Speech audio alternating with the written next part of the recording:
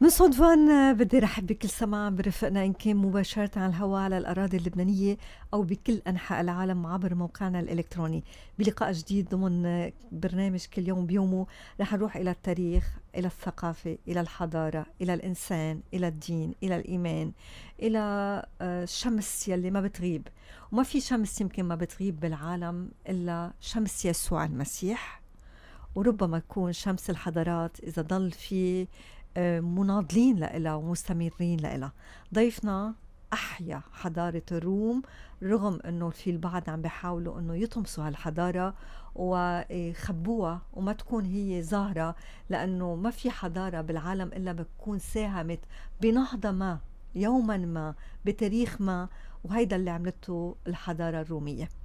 ضيفي البروفيسور الدكتور نجيب جهشان أهلا وسهلا فيك. آه، شكرا لهالمضمون يلي يستحق القراءة مرات ومرات حسب اطلاعي السريع للكتاب.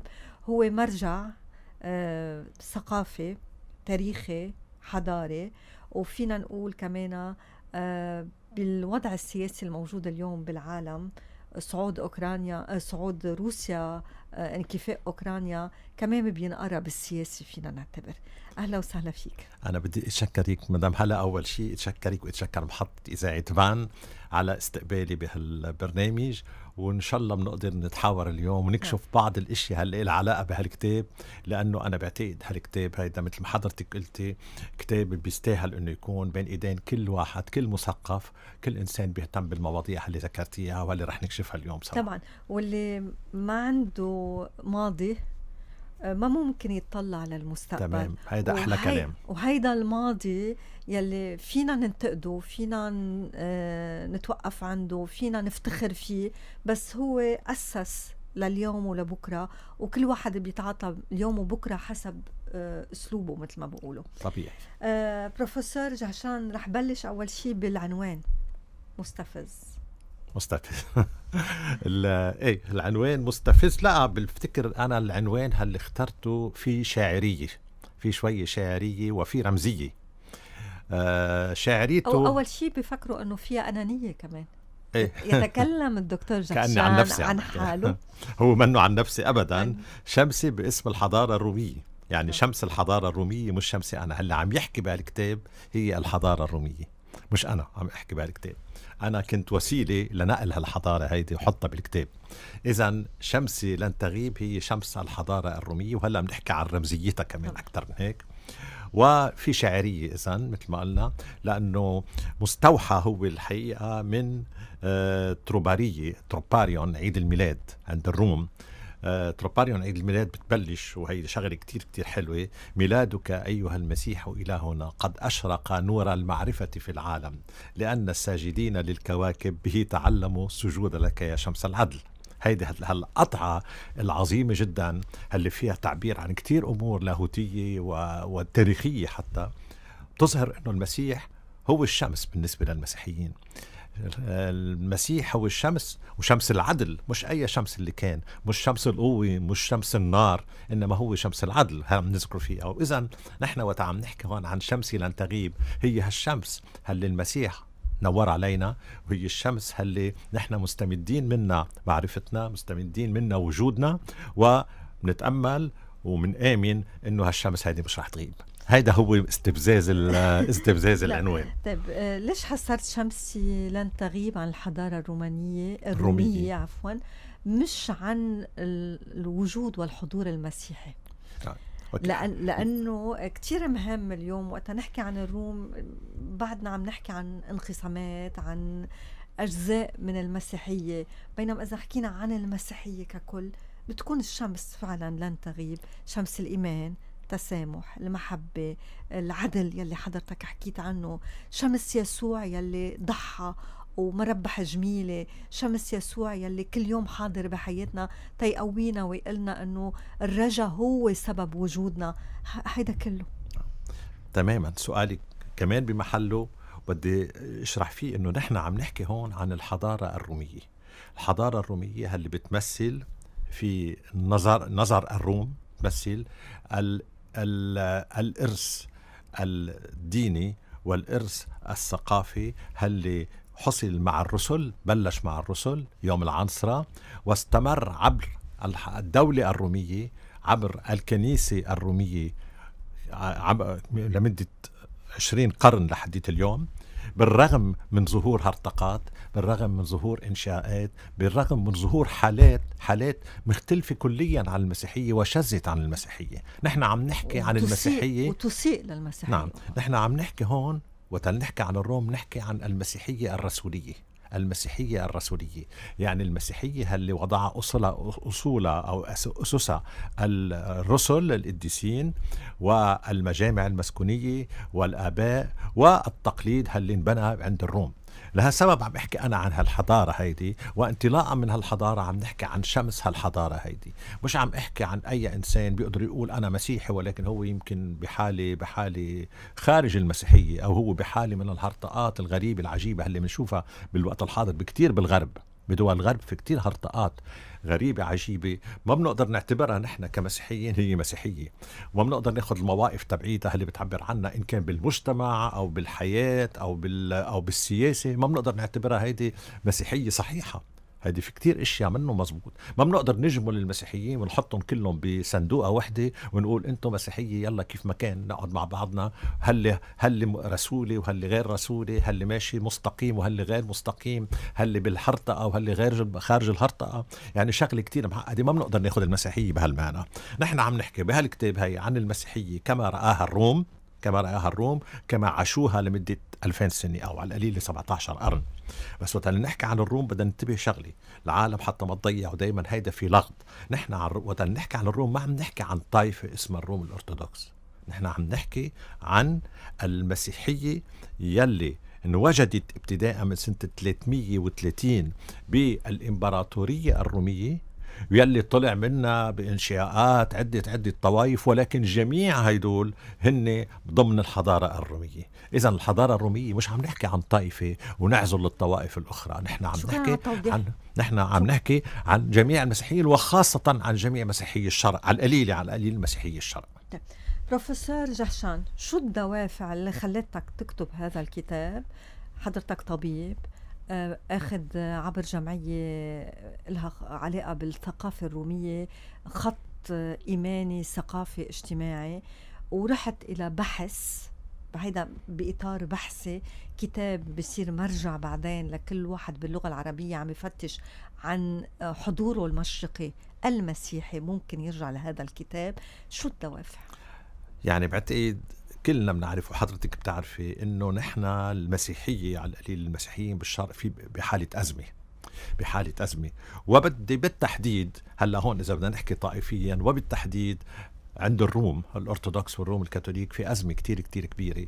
هل لاحظت أنا عبر تجربتي الحياتية إلى جانب عملي كجراح وكطبيب ولكن إلى هيدا أنا إنسان عايش بالمجتمع وعايش بالكنيسة. هل اكتشفتوا أنه شعبنا وحتى جزء كبير من الإكلير خلينا نحكي الحقيقة بيجهلوا هالتاريخ بيجهلوا هالثقافة هيدي. بيعرفوا إيمانهم يمكن بيعرفوا العقائد بيعرفوا الطقوس ولكن قولي لهم هالطقوس كيف وصلت؟ كيف حصلت؟ هالعادات هيدي كيف صارت؟ هالتقليد هل بتسميه الكنيسة التقليد الشريف؟ كيف انبنى هالتقليد الشريف؟ طيب بيسألوا حالهم ليش نحن بهالحالة اليوم بلبنان أو بالشرق؟ ليش في تراجع للمسيحية بالشرق؟ ليش في احتلال لكنائس وأديرة مثل ما حصل بالقسطنطينية وبالأناضول. هدول كلهم هدول كلهم أسئلة إلنا حق نطرحها. أنا طرحتها على نفسي وتبين لي إذا اتحادث مع الباقيين مع الغير إنه المعظم الأكثرية المطلقة من الروم على القليلة إذا ما بدي أحكي عن باقي المسيحيين الأكثرية المطلقة من الروم ما بيعرفوا شيء عنا ما بيعرفوا شيء عنا وهيدا جهل عم بيؤدي لفقدان حس الانتماء. ما عاد عندهم انتماء الناس انتمائهم سطحي ممارساتهم الدينية سطحية. نحن هالاشياء هيدي بدها صارت سطحية لأنه نحن فقدنا معرفتنا بتاريخنا بتراثنا وفقدنا خاصة الرابط ما بين هالتاريخ والحاضر. يعني الناس بالوقت الحاضر عنا بيعرفوا الشغل اليوم. بس ليش اليوم وصلتوا على هالوضع هيدا؟ ليش اليوم هيك عم نتصرف؟ ليش اليوم عم نتلقى هالضربات هيدي كلها؟ ليش؟ ما بيعرفوا ليش بينسبوها لحدث آني لحدث آني. لا هو منه حدث آني. تراكم. هال 2000 سنة؟ هيدي 2000 سنة في تراكم في تراكم لأحداث في تراكم لأشخاص في تراكم لآراء لعقائد جمعت فوق بعضها. شيء positive شيء negative ولكن هي وصلتنا أوقات كمان. لا كمان مش من الداخل. استهد- مش من استهداف- الداخل. استهداف مش من الداخل. طبعا. نعم. استهداف عظيم جدا. نعم. وهذا الكتاب عم يحكي نعم. عن الاستهدافات كلها هيدي نعم. أكيد. بروفيسور رح بلش من الغلاف شمسي لن تغيب غلاف قبة كنيسة على ما أعتقد ورح أترك لك تخبرنا أكثر عن ليش خيارك لهيدي الكنيسة أو القبة تتكون هي شمس مضيئة كالشمس بشكل أو بآخر لونها كالشمس ولكن إذا بنروح إلى العمق في دلالة أخرى رح أترك لك. تشرحها هي الشمس هيدي هال هال هالصوره وسطها وسطها وأهم شيء فيها أيقونة المسيح البانتوكراتور الضابط الكل. اللي موجود هون؟ واللي طالع منها كل هالإشعاع إشعاع شمسي إشعاع منور؟ لهالاشخاص اللي موجودين تحت؟ اللي هن أنبياء؟ اللي هن حكام؟ اللي هن قديسين؟ اللي هن رهبان أساقفة إلى آخره. هدول كلهم عم بتنورهم هالشمس هيدي طالعة من هون. ومنين إجت هالصورة؟ هيدي الصورة هي لإب لصورة إبة دار كنيسة دار المخلص. إبة كنيسة دار المخلص اللي موجود بمنطقة بالقسطنطينية اسمها خورا. خورا هي ترجمة هي كلمة يونانية بتعني الريف أو الضيعة أو القرية. ومن هون جاي اسم الكورة أو الكورة عندنا بلبنان هي معناتها المنطقة الريفية أو منطقة الضياع الاسم ذاته. الكلمة اليونانية. خورة بالقسطنطينية هي منطقة موجودة بالقرب من الأسوار يعني منا بوسط المدينة موجودة هونيك. بالقرن الثالث عشر آه، أحد النافذين اللي كان محب للكنيسة عمر هيدا الدير. وهالكنيسة هيدي هي من أجمل و التحف المعمارية وفيها الجدرانيات والصور والموزاييك اللي موجود فيها شيء رائع جدا. بكل أسف هيدي وقت اللي احتل الأتراك أو العثمانيين احتلوا القسطنطينية ب 1453 اللي هو حدث مفصلي بتاريخ الروم. طبعا مثل ما عملوا مع غيرها حولوها لجامعة. وضلت جامعة أكيد مغطاية كلها بالكلس بيغطوها بالكلس كل هالجدرانيات والأيقونات بتتغطى بالكلس حتى ما حدا يشوفها. ضلت لحديت ما صار في الجمهورية التركية بأيام أتاتورك. كشفوا عن كشفوا عنا تبينت إنه هيدي شغلة كتير كتير حلوة وإنه بيقدروا يستفيدوا منها سياحيا. سياحيا إيه كشفوها وصار سياحيا ورحت أنا شخصيا زرتها وعندي صور كتير كتير من هالموقع الحلو اللي هو موجود مثل ما قلت لك بأطراف القسطنطينيه القديمة. هلأ بالنظام التركي الحالي مع أردوغان مصيره صار مثل مصير آيا صوفيا مثل مصير الكنائس والأديار بالعشرات وبالمئات ببلاد الأناضول. هو الغريب إنه آه، آه، أردوغان مؤخرا افتتح كنيسة للسريان وبيدمر كافة الكنائس بخبي كافة لا الكنائس. المهم التراث آه، بالنسبة له. التراث ما يكون موجود بيقدر يعمل شغلة جديدة إعلامية. إيه، لا لا، ما عم بفهم كيف يعني إنه هيدا التراث يلي حضارة عم يلغي حضارة هو عن جد عم يلغي حضارة. تنرجع لموضوع الكتاب. آه بروفيسور جحشان آه أنا عم بقرأ مقدمة الكتاب استوقفني نقطة جدلية فعلا هيدا ببعد الفكري السياسي والحضاري بتقول إنه هو جولة على تراث الروم وبتروح محل بتقول بالتعريف إنه بتحكي عن هيدي الحضارة إنه هي أممية جا- شاملة وقومية فردية لا مش قومية بالعكس غير قو- قومية غير قومية غير قومية نعم. إيه، طيب. إيه. ليش عم تحكي عن أممية شاملة ونحن بنعرف يسوع المسيح قال اذهبوا وتلمذوا الأمم. بينما بنشوف كمان ال- اليوم المسيحيين مش عم بي مش عم بيتلمذوا الأمم ولا عم بيبشروا الأمم. صاروا بمحل منكفئين يعني كل واحد يا أنا يا نفسي. تماما آه كمان رح نرجع على اللي حضرتك قلتيه هلأ. الكتاب ببلش عندي أنا الكتاب ببلش بالعنصرة. ببلش بالعنصرة عم نحكي عن العنصرة. شو هي العنصرة؟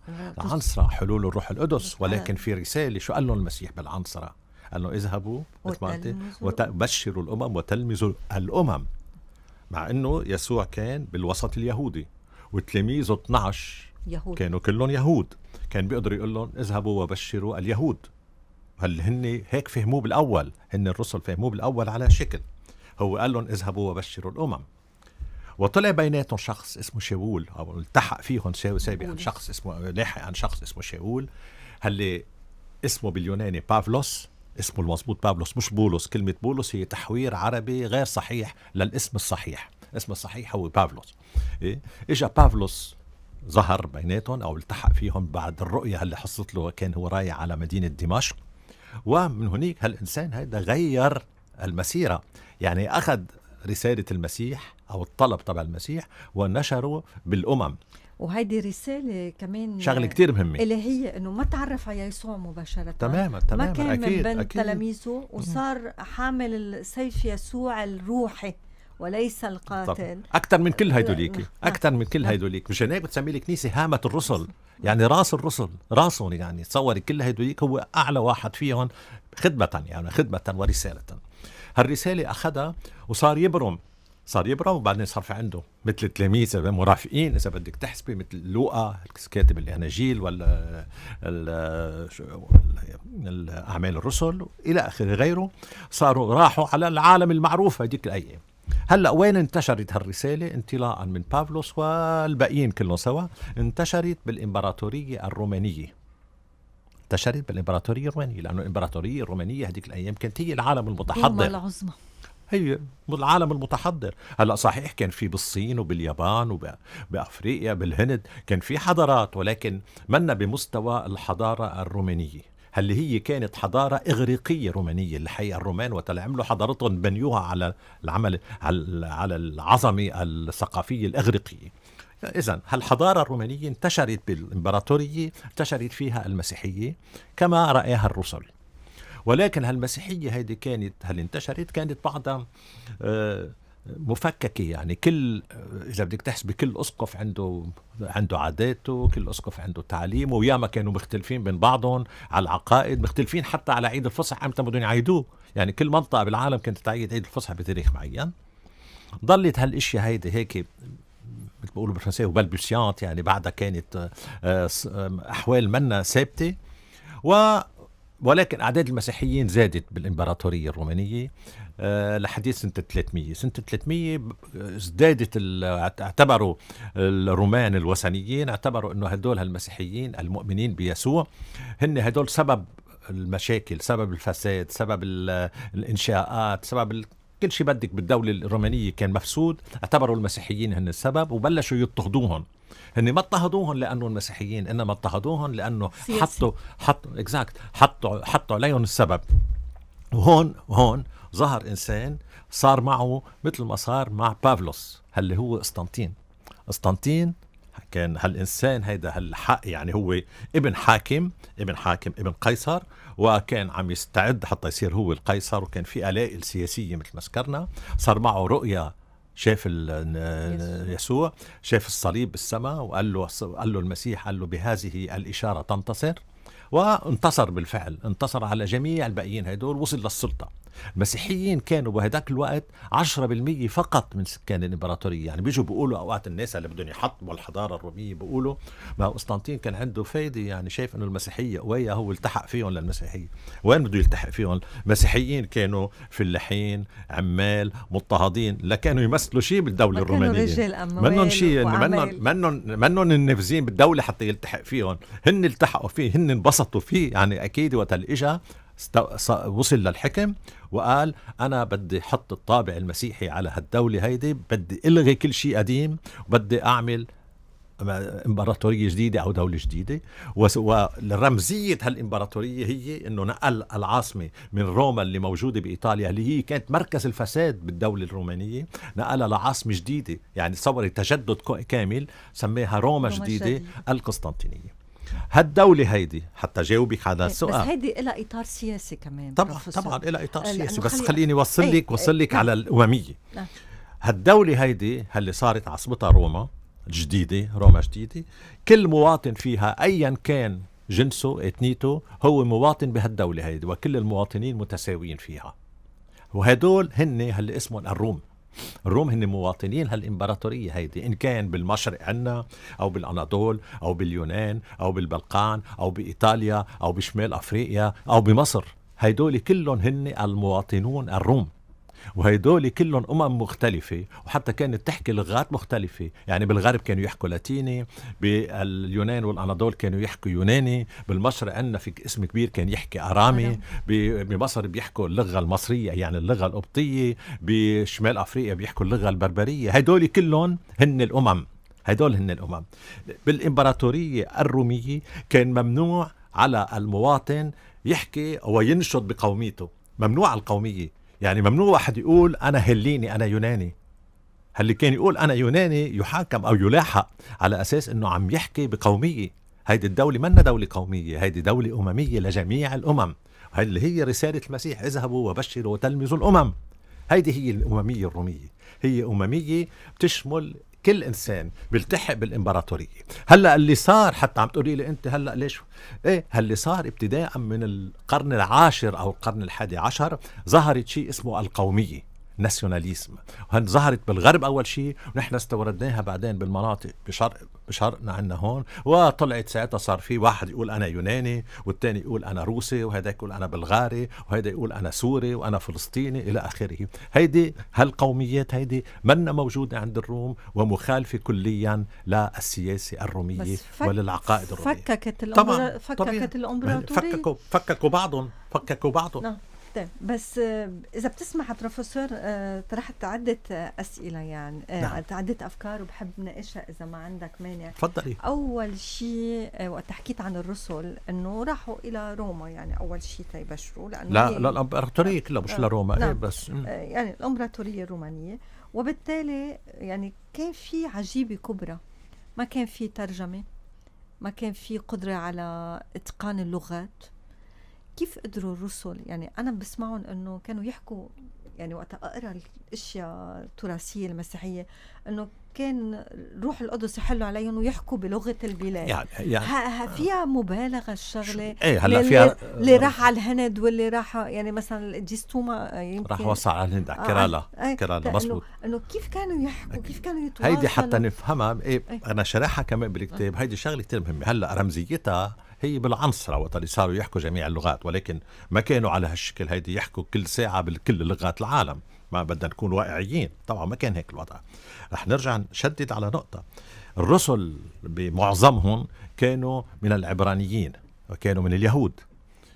وهن وقت اللي راحوا حتى يبشروا راحوا كل مدينة فيها يهود يروحوا لعندهم. البشارة صارت عند اليهود هاللي منتشرين بالشتات. نحن بهداك الوقت كانوا اليهود تشتتوا من فلسطين. راحوا كل بلاد العالم تشتتوا لأسباب سياسية واقتصادية إلى آخره واحتلال الرومان للبلاد. تشتتوا. هيدول هاليهود هيدول هن صاروا يروحوا لعندهم الرسل. هلأ هاليهود اللي موجودين بروما كانوا يعرفوا يحكوا لاتيني إلى جانب اللغة العبرية أو الأرامية لغتهم. اللي موجودين بالأناضول كانوا يحكوا يوناني إلى جانب اللغة العبرية أو الأرامية. مثل أي لبناني موجود بغير مزبوط. الدولة. إذا بده يروح لبناني غير متقن للغة بيروح بيقصده يعني. بقى هيدول هالرسل يعني هالرسل تكاثرت أعدادهم باليهود اللي التحقوا بالمسيحية بالأوساط اليهودية اللي موجودة بالإمبراطورية الرومانية. هيدي هيدا السر إذا بدك تحسبي سر انتشار المسيحية الأولى. هلأ بعدين وقت اللي صار واحد يوناني صار مسيحي علم واحد تاني يوناني باللغة تبعيته. بس بالبداية هي بلشت على هالشكل بلشت بأنه قصدوا مشان هيك مثلا بالهند شو صار شو كيف راح القديس توما لأنه بهالمنطقة بكيرالا بالهند على الساحل الشرقي للهند كان في جالية يهودية صغيرة موجودة هونيك وصل لعندهم حتى يبشروا بالمسيح. نعم. طيب بروفيسور وقت تحكي عن قسطنطين والبعض بشوف عظمة قسطنطين ودوره ب بتبني المسيحية أول شيء وبعد تبني المسيحية وجوده بالسلطة واللي عمله بموضوع الصليب وبعد بناء الكنائس وبالنظام الكنسي وبتبني الأساقفة وإلى آخره عمل قسطنطين الكثير. بعد بقول من أساء إلى رسالة الرسل؟ لرسالة المسيح الحقيقية هو القسطنطين بحد ذاته. وقت خل... إيه، عم إيه، إيه، بس خليني أشرح بعرف بعرف بعرف أوكي. إيه. لأنه بيقولوا وقت بكل بساطتها هي المسيحية التقشف الفقر. فأخذ الكنيسة إلى بدل الزهد إلى المشهد الامبراطوري الملكي إلى آخره فأساء هو فعلا إلى إلى الكنيسة؟ أنا بسأله سؤال ثاني بسأل سؤال بطريقة ثانية المسيحية انتشرت بالإمبراطورية الرومانية لمدة ب 300 سنة ولم تصل إلا إلى 10% من السكان. لم تصل إلا إلى 10% من السكان. اللي خلاها توصل ل 100% من السكان؟ هو قسطنطين. مش هن مش هيدوليك العبوا لعب البساطة والاخر أكيد تعاليم المسيحية تعاليم مسيحية بس ما المسيحية ما انعملت أو ما ما انتشرت بالعالم بحد السيف ولا انتشرت بالقوة. يعني منهم جماعة حملوا سيوف وحملوا أنابل وحملوا مبشرين بشروا. ولكن كان بحاجة أنه تتنظم سؤال غيره بسأل سؤال تاني. ليش كانت الآراء ليش كانوا المسيحية عم يتصارعوا مع بعضهم عقائديا وقت اللي وصل قسطنطين؟ قسطنطين ما هو عمل ال ال ال عمل المشاكل ما بين الكهنة. آريوس شو له علاقة بقسطنطين؟ آريوس كان كاهن من ليبيا. واحد من كان كان عم كان بالإسكندرية وكان بعده قسطنطين أول ما يوصل قبل ما هو بلش بهرطقته إذا بدك هاريو اريوس قبل ما اجى قسطنطين. قسطنطين شو عمل؟ شاف إنه هيدا عم تقسم المسيحية بين بعضهم. عقيده اريوس عم تقسم المسيحية بين بعضهم عم يتخانقوا مع بعضهم رح يقتلوا بعضهم. قال لهم لازم نعمل مجمع حتى نحل المشكلة وتعطونا العقيدة. ب 300 سنة ما عملوا لنا دستور إيمان. هلأ عمل دستور إيمان هو قسطنطين بالمجمع المسكون الأول.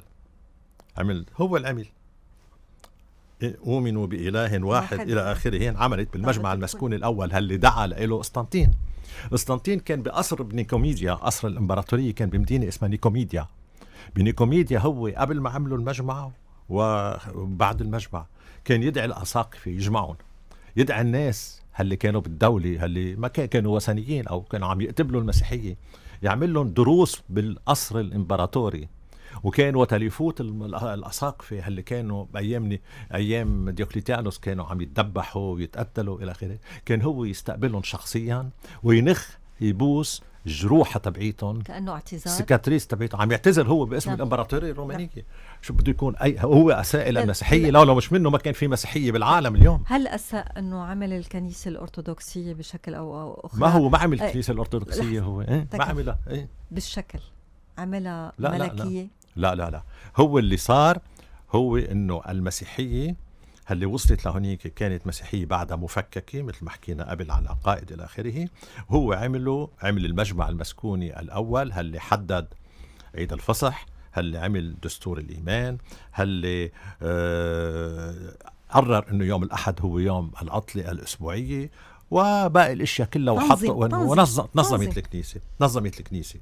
هيدول هو عملهم وما كان عم هو من بعده طلعت كلمة اسمها الأرثوذكسية مش كنيسة أرثوذكسية مستقيم. الأرثوذكسية يعني استقامة الرأي. هيدي آباء الكنيسة اللي بهذيك الأيام حصلوا يعني مثل باسيليوس الكبير وغريغوريوس اللاهوتي وإلى آخره. هيدول هن هلا حطوا هالعقائد. هيدي من بعد قسطنطين مش بأيام قسطنطين بعد قسطنطين. وصارت الكنيسة اسمها كنيسة أرثوذكسية من بعد قسطنطين هو كان البداية اللي أطلقت هال processus. هو البداية اللي أطلقت هالبروسيسوس. كنيسة وم... والشكل الطقس الملكي فيها. نعم. ألا يسيء ل... لصورة يسوع يلي قال إذا عندك توبين أعطي الفقير وامشي بتوب واحد هيدي على أباء الكنيسة يقولوا عليها مش مش قسطنطين ولا الأباطرة اللي هن فرضوها. هن أباء الكنيسة الأساقفة وجدوا إنه لازم يتصرفوا هن وقت عم يتصرفوا بهالشكل هيدا عم يعطوا البهاء والعظمة للمسيح اللي هن بيمثلوه ملك الكل. اي ملك الكل مش هن ما بيمثلوا بعدين حتى أكثر من هيك لولا الأباطرة ما بدهم الكنيسة تكون كبيرة وعظيمة. ما كانوا يخلوهم يظهروا هيك على الشكل. ليش ليش خل ليش أباطرة الروم خلوا الأساقفة والبطاركة والكهنة يظهروا بهالمظهر هيدا لولا كانوا هالأشخاص هدول عم بيهددوا لهم سلطتهم؟ لا بالعكس. هن اعتبروا إنه بهالشكل هيدا عم تعظمي الكنيسة عم تعظمي المسيح اللي هو رأس الكنيسة. أنا شخصيا ما بعتقد أبدا إنه أي هيك يعني بدنا بدنا نجرب إنه نخلي الكنيسة بنحكي عن إنه الرسل أو الكنيسة تبع أول قرن هي فقط فقط الكنيسة المضبوطة والكنائس الثانية منا مضبوطة وكل شيء صار يعني بعدين تطورات. هذا في كتير من البروتستان بالغرب. هيدا بيقولوه. بالإصلاح اللي صار يعني الريفورم تبع البروتستانتيه استعمل الأيقونات إيه والتماثيل بيقولوا هن إنه نحن عم نرجع نحن عم نرجع للمسيحية الأولى. هن عم بيقولوا بنرجع للمسيحية الأولى بنرجع على مكان الرسل. من هون آه، بيقولوا لك ما في أساقفة. ما في أساقفة. ليش بده يكون في أساقفة بتاركة؟ نحن في واحد اسمه آه، الباستور يعني قسيس ويكفي هيدا هيدا بكفي. بعدين هيدا ما لازم يعمل قداس القداس صار بعدين. ما كان في قداس وقتها. هدول كانوا يتجمعوا كلهم ويصلوا. طيب حق معهم يمكن. ولكن خلينا نشوف النتيجة. هل النتيجة تبع هالإصلاح البروتستانتي اللي حصل بالغرب هل هو نتيجته للمسيحية هلا اليوم هل نحن عم نشوفها عندهم هل هي المسيحية المضبوطة؟ طيارات وموجات هيدا اللي عم نشوفه نحن هلا وقت اللي يحكوا لك بالمثلية ويحكوا لك. بالزواج بالزواج بالاوتانازيه اللي بنقتل الواحد إذا كان مريض ما قادرين نحكمه الإجهاض. كل هالاشياء هيدي نتجت نتجت عن الإصلاح تبعهم لأنه هن رجعوا لل- للقرن الأول لا لا بالعكس ال- حط في قوانين بدها تعملهم الكنيسة عملتهم الكنيسة في تقاليد عملتها الكنيسة اللي هي بتعبي الحياة تبع الفرد بتحبي الحياة الفرد بتخلي كل ساعة وكل دقيقة يذكر المسيح كل ساعة يذكر يذكر تعليم المسيح يذكر الإنجيل. عفوا. ولكن نفس الوقت ما في هال هالتشرد الفكري. يعني كل واحد بيطلع برأي. بقول أنا والله كانوا. بالقرن الأول والقرن الثاني كان كل واحد يطلع برأي. أنا كمان بدي أطلع برأي. مشان هيك في 256 256 شيعة بروتستانتية مختلفة بالعالم. 256 شيعة طب هدول ليش 256 فرقة مختلفة؟ كل وحدة بتقول شيء. كل وحدة بتتصرف شيء. لأنه هدول بدهم يرجعوا على ما يسمى بالمسيحية الأولى. رجعوا على ما يسمى بالمسيحية الأولى ورفضوا كل سلطة. رفضوا كل تقليد. رفضوا وجود قديسين رفضوا وجود آه، سلطة دنيوية موجودة بترافق الكنيسة. رفضوا كل شيء. بيقولوا نحن بدنا نخترع. كل واحد بده يخترع اللي بده إياه. أنا برأيي هذا شغلة خاطئة شغلة دمرت المسيحية وعم تدمر المسيحية ومنا هي الطريقة اللي, اللي ال- المسيحية بتضل موجودة فيه بط- بطريقة المستقيمة بروفيسور جهشان آه، تدمير الحضارة صعب لأنك بتقول بالعنوان شمسي لن تغيب لكن على الأقل إحباطها آه، تأخرها آه، عدم نهوض لها عدم استمرارها. كل هيدي الأمور بتصير. من هيدا المنطلق بدي أسأل أيهما كان أصعب على الحضارة الروم حضارة الروم؟ السياسة آه، ضعف الإيمان التدخل الخارجي أو الانقسام؟ كلهم سوا. ذكرتيهم كلهم كلهم سوا يمكن في فوقهم كمان أسباب تانية. بنقدر نذكرهم كلهم. السياسي طبعا وقت هالكتاب هيدا هو منه كتاب تاريخ ولكن أنا استعملت التاريخ وحللته. استعملت المعطيات التاريخية وحللتها. بتقشعي إنه اجى أوقات حكام فاسدين. اجى حكام فاسدين. اجى حكام عم يتصارعوا مع بعضهم يتخانقوا مع بعضهم. يعني رح أعطي مثل عليها. وغيرها في كتير كتير كتير قد ما بدك. بحوالي سنة 1200 صار في خلافات بقلب العائلة المالكي اللي كانت وقتها بالقسطنطينية. صاروا يتخانقوا مع بعضهم مين بده يحكم. ولحتى واحد ينصر حاله هيدا صار استدعوا استدعوا الغرباء اللي هن كانوا بالغرب اللي كانوا بدهم يعملوا حملات صليبية كانوا عم يعملوا حملات صليبية هدفها مبدئيا هو الوصول إلى أورشليم. استدعوهم هن استدعوهم قالوا له تعالوا ساعدونا. واحد حتى بده الصليبيين يجوا يساعدوه على ابن عمه على خيه على عمه على قرايبه إيه؟ صاروا هن هيدول فاتوا على القسطنطينية بسنة 1204 وصار هاللي صار هاللي استقواء بالغرب إيه هلا بنشوفه محطوط بالكتاب هون بخبر كيف دمرت الكنائس سرقت الذخائر آه، كل شيء في كل شيء في آه، قطع أثرية وفنية كلها كلها راحت كتب مؤلفات كلها صارت بالغرب. وكان الغرب بحالة بربرية وقتها مش الغرب هاللي نحن بنعرفه اليوم يعني من بعد الرينيسانس من بعد النهضة لا هيديك سنة ال 1200 كان حالة يرثى لها الغرب كانوا برابرة. هذه كيف صارت؟ هذه صارت مرة سياسي هيدي مرة سياسي هيدا بسبب من أسباب. سبب تاني مثلا من هاللي ذكرتيهم وفي غيرهم الانشاءات. بلشنا من و... من بعد ما صار المجمع المسكون الأول وطردوا في آه، آريوس. ها؟ ولكن بعد مدة رجعنا بلشنا بلشوا هالكليريكيين يتخانقوا مع بعضهم. بلشوا يقولوا هل إنه والدة الاله العذراء مريم هل هي يجوز تسميتها والدة الإله أو ما لا أو ما بيجوز هي ام يسوع البشري الانسان ولكن منا ام يسوع الإله. ال- الإله. اذا بدنا نختلف اختلفوا مع بعضهم هل يجوز تسميتها بوالدة الإله أو لا يجوز؟ وادت إلى انشقاق وفي كنيسة بالشرق موجودة عندنا بترفض تسمية مريم والدة الإله. مضي شوي الزمن بعد كم سنة بلشوا اختلفوا بين بعضهم هل المسيح له طبيعة أو طبيعتين. هل طبيعته البشرية آه، مساوية للطبيعة الإلهية أو الطبيعة الإلهية مسيطرة على الطبيعة البشرية؟ خلاف على هالشكل. كمان هيدا هذا عمل الانقسام الكبير. هيدا كل الانقسام كل الشرق كل الشرق وانقساماته إجت من هالخلاف. طب هالخلاف هيدا أنا بسأل دائما بسأل حالي بقول طيب إنه هل المسيح لنفترض طب الطبيعة البش... الإلهية أقوى من الطبيعة البشرية أو الطبيعتين متساويين؟ هيدي أو هيديك. هل بتتغير صورة المسيح؟ هل بتتغير رسالة المسيح؟ هل بتتغير التعاليم هل قال ما بتغير شيء. طيب إذا أنتم بدكم تفكروا عفوا برضو.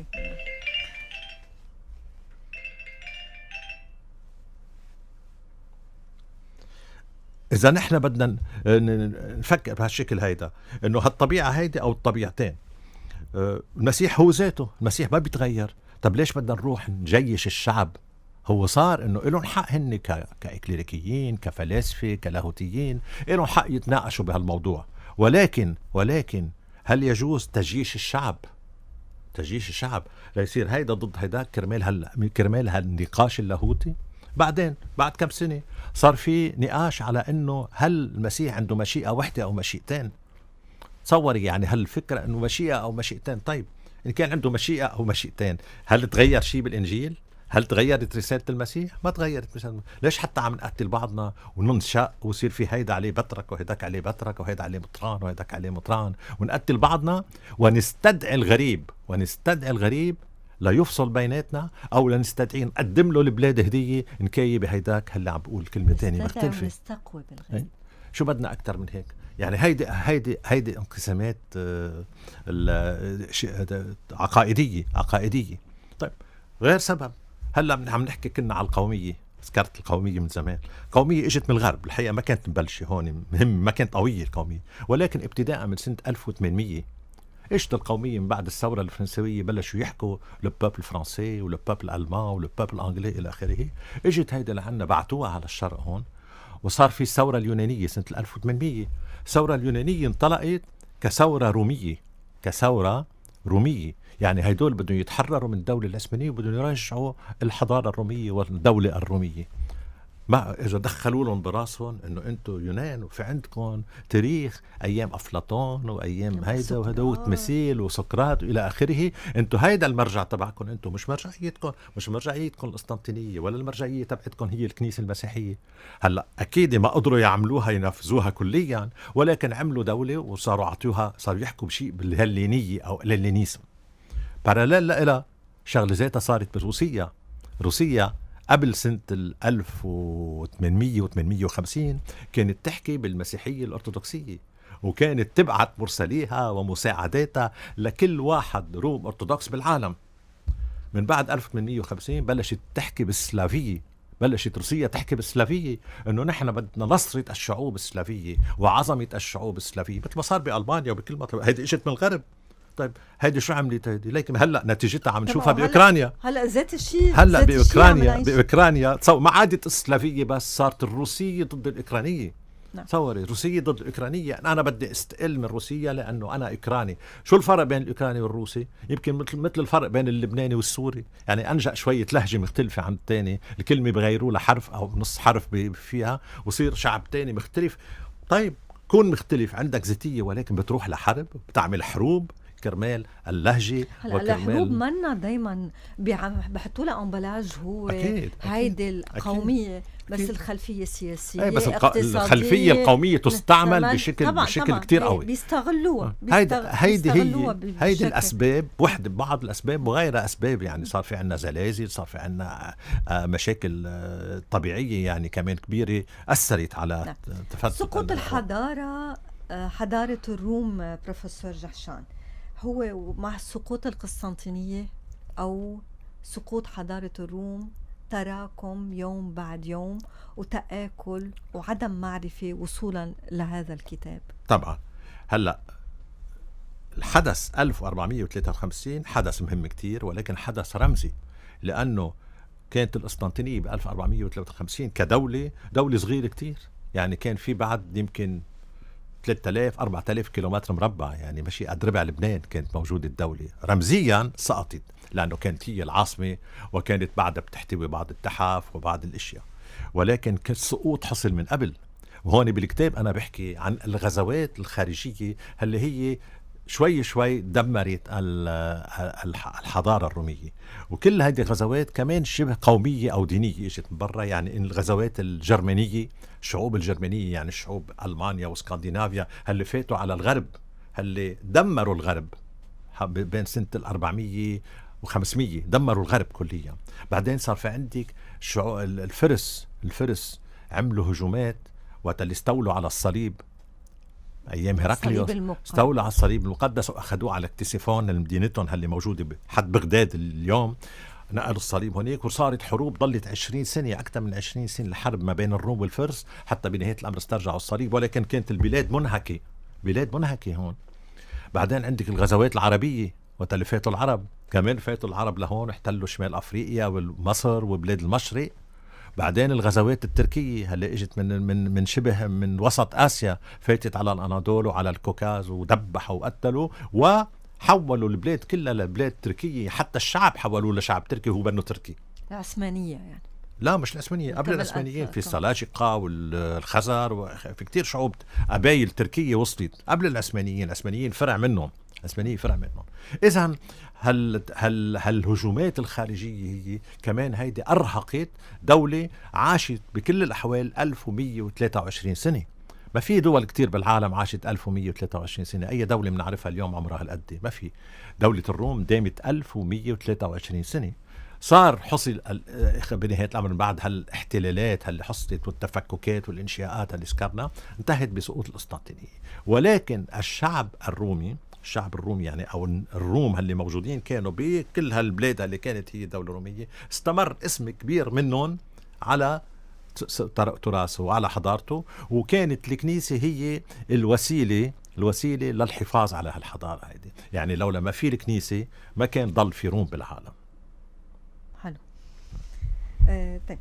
مع هيدا المشهد آه، اللي تقدمت فيه آه، دكتور جحشان بدي أروح لبعض النقاط يعني الكتاب إذا بدنا نعمل مقابلة بعد قراءته بده على الأقل أربع أو خمس ساعات مناقشه طبعا طبعا. آه، بس رح أحاول من الفهرس أخذ بعض النقاط. كيف صار كيف كانت العلاقة روسيا مع الروم كيف صارت روسيا هي تعتنق العقيدة الأرثوذكسية أو الروم؟ كمان هيدا نقطة كتير مهمة وهون بدها تضوي لنا على شغلة آه، على صفة من أو ميزة من ميزات الروم. الحضارة الرومية من قسطنطين لحديد 1453 صار فيها عالي وواطي يعني مرحلة نهوض صعود و و و وهبوط. بنسميهم نحن إتاب آه، مراحل أو حقبات.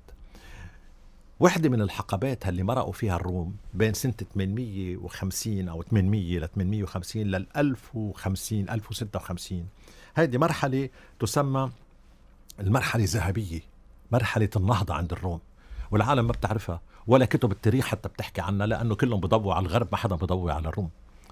هالحضارة هيدي هالمرحلة هيدي اللي هي مرحلة النهضة كانت عظيمة من كل النواحي. سياسيا دينيا عسكريا ثقافيا عمرانيا كل شيء بدك إياه. وهيدي المرحلة تميزت بأنه كانت القسطنطينيه عاصمة العالم. مش بس عاصمة العالم المسيح كانت عاصمة العالم كله سوا. بقى السلاف الشعوب السلافية موجودة كانت بالبلقان وبالشمال لجهة روسيا. هالشعوب هيدي السلافية بلشت على احتكاكها مع الروم. وجدت إنه بركي بتصير مسيحية. ما كانوا مسيحية هدول. يعني هل اسمهم روس اليوم وهل اسمهم سرب وهل بلغار واوكران ما كانوا هدول مسيحيين. بلشت القصة بمورافيا مورافيا يعني بتشيكيا سلوفاكيا.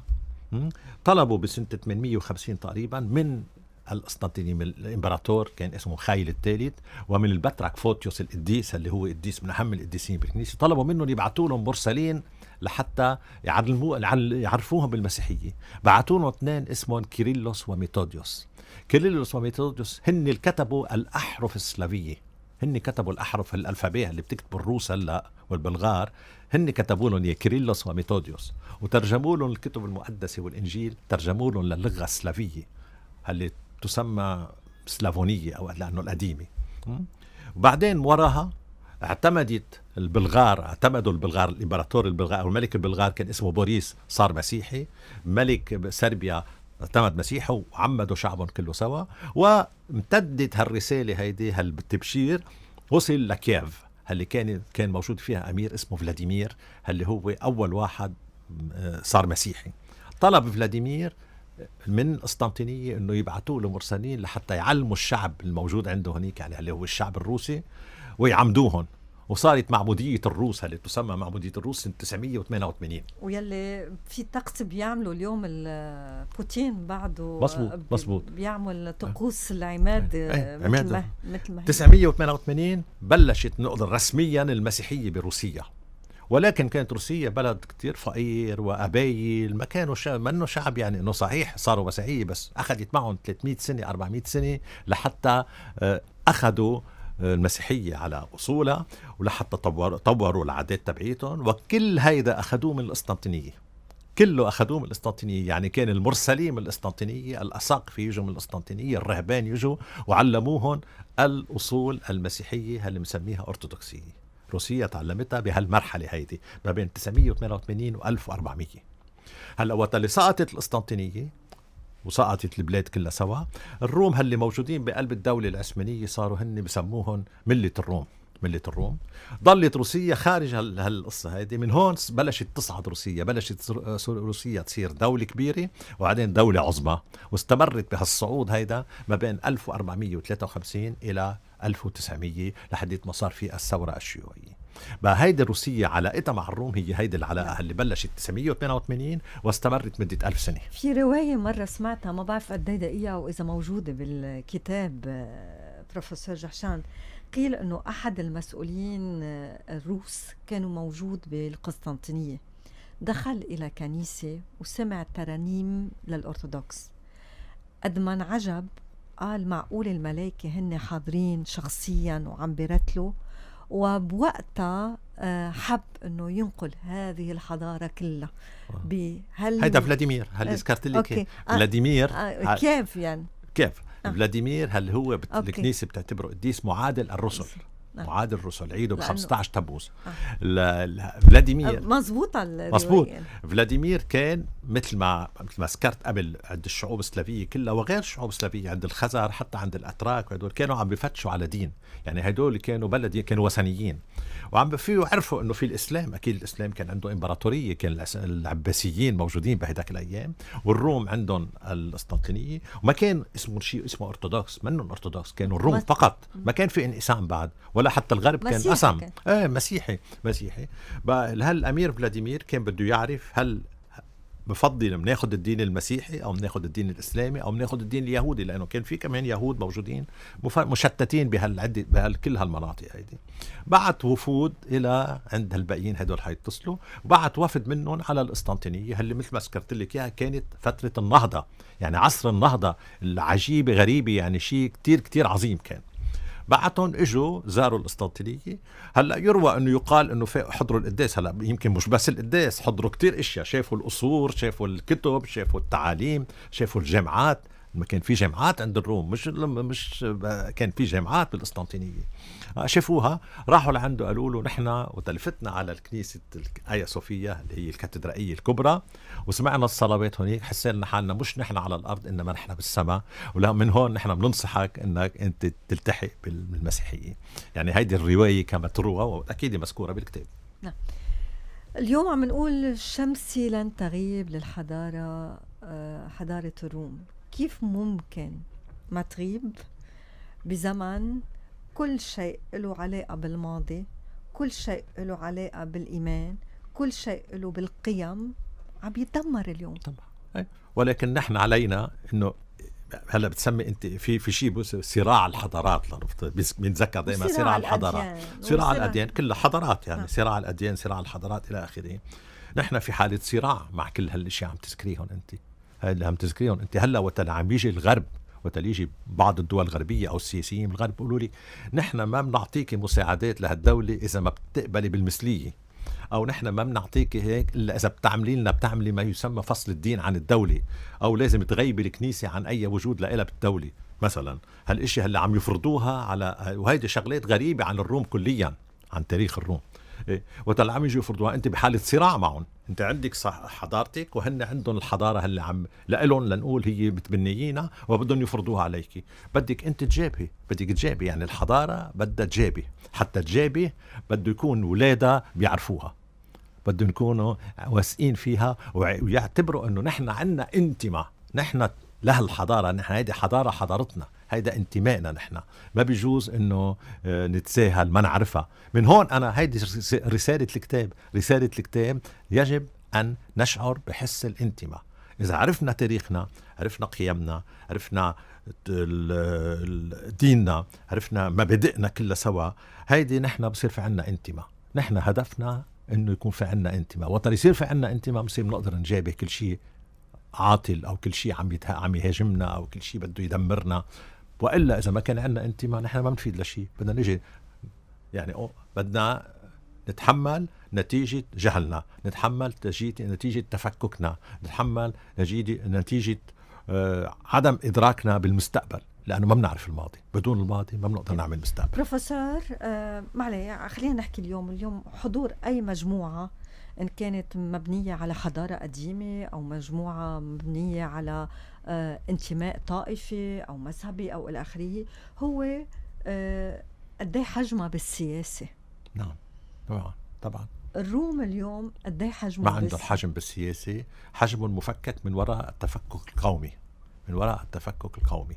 هيدي الرسالة هلأ عم نقولها هون نحن إنه على الروم بالعالم مش عم بحكي عن الروم بلبنان عن الروم بالعالم. بشكل عام. بشكل عام عليهم إنه يكونوا يشكلوا نوع من آه نوع من آه تنسيق موجود من بعضهم. يعني كما يقال في العالم الفرنكوفوني يقال في العالم العربي يقال في العالم الإسلامي يقال في العالم الأنجلوفوني.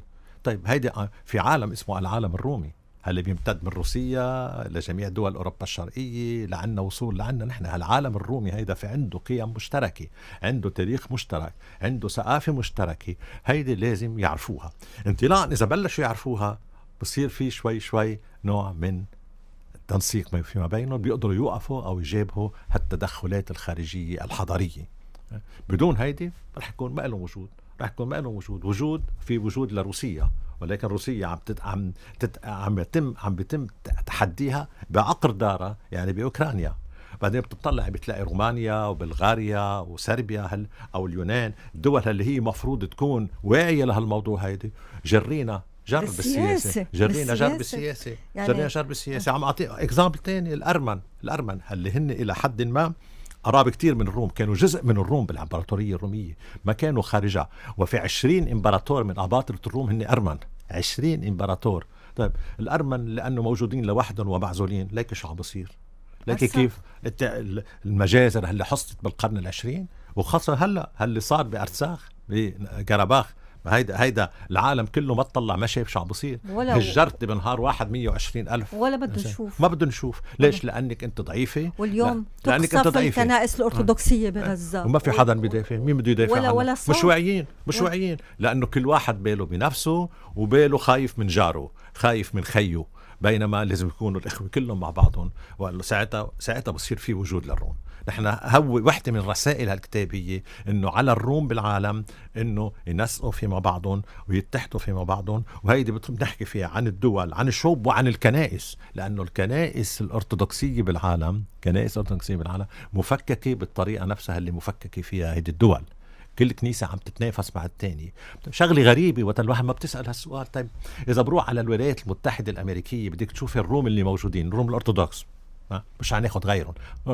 عندك عشر مطرانيات باراليل باراليل مع بعضهم موجودين بنفس المدينة في عشر مطارنة. كل واحد عم بشد لشعبه. لك يا عمي ما أنتم على حساب الكنيسة بتقول إنه كل مدينة لازم يكون فيها أسقف، كيف عشر اساقفة عم يتعرفوا؟ أكيد هلأ بتعملوا خدمة انكم كل واحد بتوصلوا له بلغته، بس كيف بدكم تنشروا البشارة؟ البشارة بتنشر عشر أشخاص عم يتنافسوا بين بعضهم، كيف بتصير هيدي؟ هيدا مثل، هيدا مثل، هيدا مثل بجسد بجسد التفاهم. لا بالتعليم هو نفسه. OK. بيختلفوا. بالسلطة. بيختلفوا بالسلطة. ما هيدا اللي بدي أوصل عليه. بدي. أوصل عليه. طيب. بروفيسور بعد عنا كم دقيقة؟ تفضل خلص الوقت بسرعة حلو كتير الحديث إيه. وإن شاء الله نكون عم نوصل رسالة.